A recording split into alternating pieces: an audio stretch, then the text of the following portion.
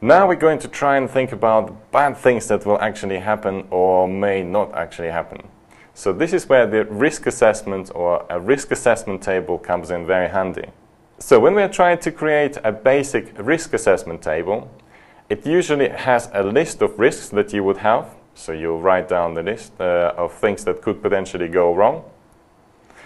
Then you think about the impact scales of those things that might be going wrong, and you could rate them from 1 to 5. So where 1 is uh, sort of uh, not necessarily going to be, well, it's negligible. When something happens, it's not going to be making a big difference. And to 5, where the impact could be catastrophic or something that's really going to be happening and making a huge difference to what you're trying to achieve.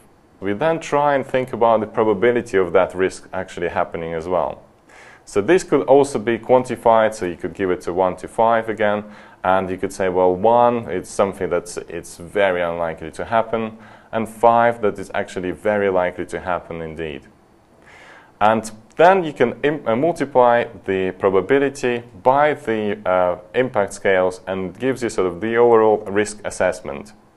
So if you use the same scales, you can then try and see or develop a banding for certain things that are risks that are beyond acceptable. So they could be colored in red, something that is acceptable risks, colored in green, and things that you might want to monitor, so they're colored in yellow. This just gives you another very simple planning tool for your personal branding online. Let's think about some things that could potentially go wrong.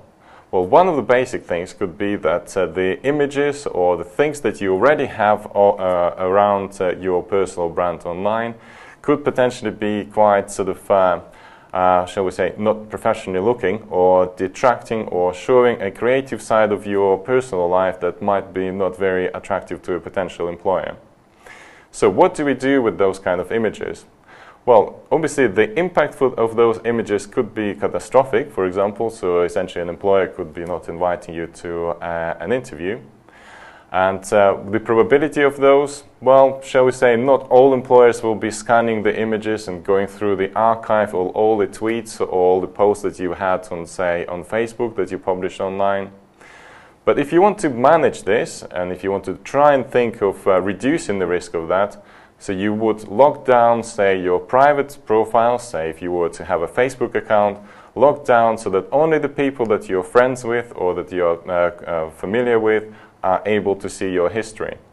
So you can see how trying to understand the very simple issue of too much information or the information that you want uh, to control could be identified and managed with this particular risk.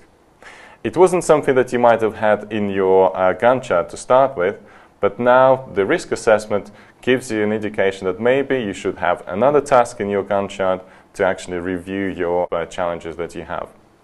Some of the other risks that you might have is that your profile might not be ranking uh, within the time that you have the assignment uh, span. Okay, so it might take a couple of months for your blog post to get a lot of comments. So for example, if you are planning to write a blog post to show your passion about a certain subject area, what is it that you need to do to manage it within the time that you have?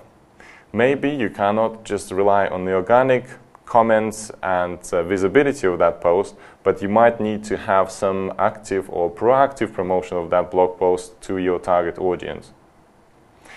So, risk assessment is yet another shopping list that gives us another take on activities that could possibly go wrong or that we anticipate to go wrong and we are trying to manage, mitigate, and monitor those through some of our basic monitoring